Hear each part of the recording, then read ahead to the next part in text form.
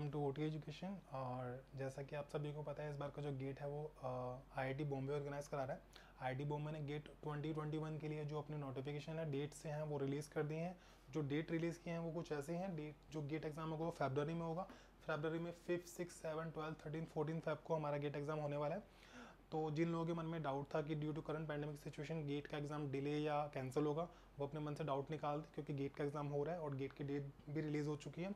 इस बार डेट में स्पेशल क्या है? पहले जो हमारा गेट होता था वो सैटरडे संडे को होता था। इस बार एक एक्स्ट्रा डे फ्राइडे को भी हमारा गेट एग्ज़ाम होगा क्योंकि आ, जो पैंडमिक सिचुएशन है राइट नाउ उसको देखते हुए शायद ऐसा किया है क्योंकि एक एक सेंटर पर ज़्यादा लोग स्टूडेंट इकट्ठे ना हो इसलिए एक डेट हमें और बढ़ा के दीजिए।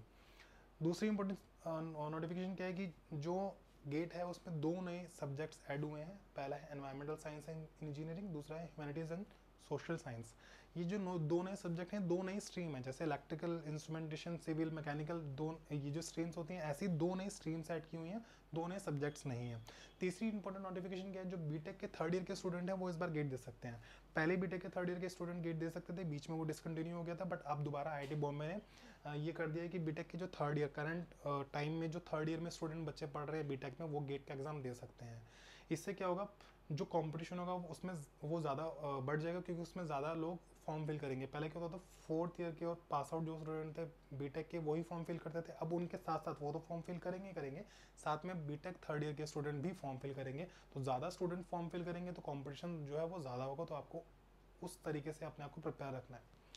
चौथी मोस्ट इंपॉर्टेंट बात क्या है one student two paper that means एक स्टूडेंट जो है वो दो गेट के फॉर्म फिल कर सकता है। अगर कोई स्टूडेंट इलेक्ट्रिकल स्ट्रीम का है तो वो इलेक्ट्रिकल का तो फॉर्म फिल करेगा ही करेगा। साथ में वो ईसी e या इंस्ट्रूमेंटेशन या किसी और ब्रांच का फॉर्म भी फिल कर सकता है। वो कौन सा एक्स्ट्रा फॉर्म फिल कर सकता है, इसके लिए जो इन्फॉर्मेशन है वो आई बॉम्बे जब इन्फॉर्मेशन प्रोशन रिलीज़ करेगा, उसमें ये मैंशन होगा कि कौन सा स्टूडेंट कौन सी और एक्स्ट्रा ब्रांच का फॉर्म फिल कर सकता है। तो लेकिन इतना कन्फर्म है कि अगर कोई इंस्ट्रूमेंटेशन का स्टूडेंट है, वो इलेक्ट्रिकल का फॉर्म भर सकता है या कोई इलेक्ट्रिकल का स्टूडेंट है, वो ई e का फॉर्म भर सकता है। बेसिकली इंटर डिसिप्लिनरी हम सब्जेक्ट और स्ट्रीम चूज़ कर सकते हैं। ये हमें इस बार गेट 2020 में फ्लेक्सिबिलिटी मिली है। तो ठीक है, इस हिसाब से आप अपने आप को प्रिपेयर कीजिए क्योंकि डेट रिलीज़ हो चुकी हैं। तो अपनी प्रिपरेशन उस हिसाब से आप कीजिए और आप सभी को all the best GATE exam के लिए।